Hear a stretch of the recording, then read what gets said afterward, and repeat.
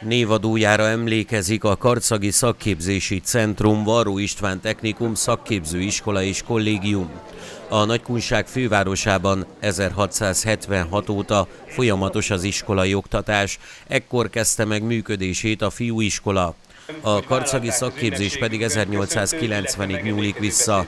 133 éve indult az iparos tanoncképzés a városban. Igaz ugyan, hogy ma ezt a kereképszámot a 30 évvel ezelőtti névadást ünnepeljük, de ünnepeljük az iskola eddig eltelt minden évét is, melyel nem csak az iparos képzésben, nem csak az oktatásban, hanem a város életében, és, életében is jelentős időszakot ölelnek fel. Az ünnepben a legszebb és legfontosabb az együttlét. Az, hogy ilyen sokan összegyűltünk megadni a tiszteletet a múltnak, azt mutatja, hogy a közösség szinte minden tagjának van része emlékekben. Mert ebből a közös emlékből, a megszerzett tudásból, tapasztalatból, élményekből és érzésekből áll össze e jelen történelme. 1992-ben kezdődött, illetve már zajlott az átmenet az egypártrendszerből a többpárti polgári demokráciába. Az addig megyei fenntartású intézmények többsége önkormányzati tulajdonba, fenntartásba került. Az akkori karcagi szakmunkás képző Ragú Antal nevét viselte. A Szolnokon született egykori vörös katonának, későbbi megyei tanács elnöknek, Karcakhoz semmiféle kötődése nem volt. Ezért is döntött úgy az akkori városvezetés, hogy a szakképzőiskola az 1697-től 1770-ig élt karcagi jegyzőt nevét veszi fel. Polgári nemzeti értékek mentén célunk az volt, hogy Karcagon a, ezen értékek erősödjenek, és egy olyan autonóm város legyen, amely folytatja azokat a hagyományokat, amelyek a nagykunságra jellemzőek.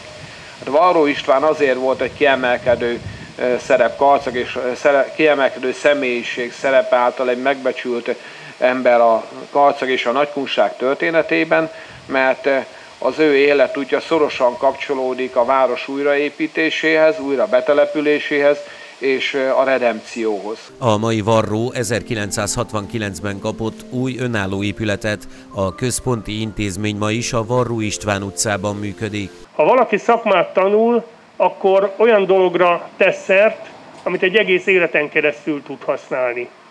És bele se gondol még 15, 16, 17, 18 évesen, hogy milyen fontos, ha valaki a kétkezi munkát, a kétkezi szakmát megtanulja.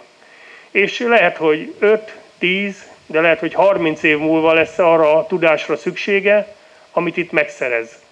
Mert egy életre szóló szakmát akár megélhetést tud szerezni, de hogyha otthon valamit bütykölni kell, otthon valamit meg kell javítani, az a tudás, amit itt a szakoktatóktól, a gyakorlati foglalkozásokon megszerez, az egy életen el keresztül el fogja kísérni.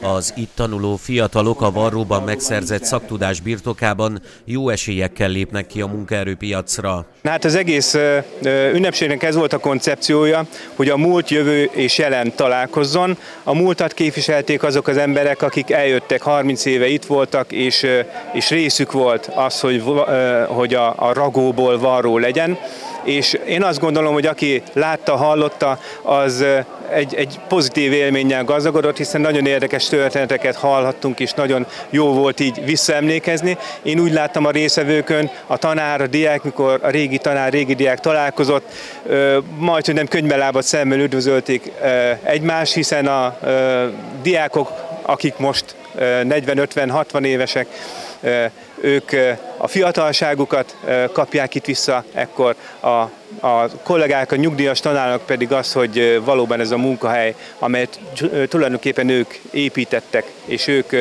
hozták létre a varrót, így ezt találkozott. Ez egy nagyon-nagyon pozitív élmény volt számomra ezt látni, és szerintem a részvevőknek is, hogy megéljék.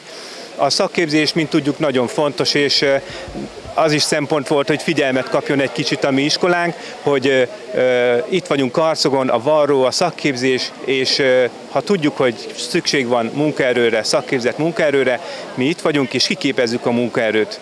A 30 éve Varó István nevét viselő iskola a felnőtt oktatás mellett jelenleg 9 ágazatban képez szakembereket, 3 éves szakképzési és 5 éves technikumi formában.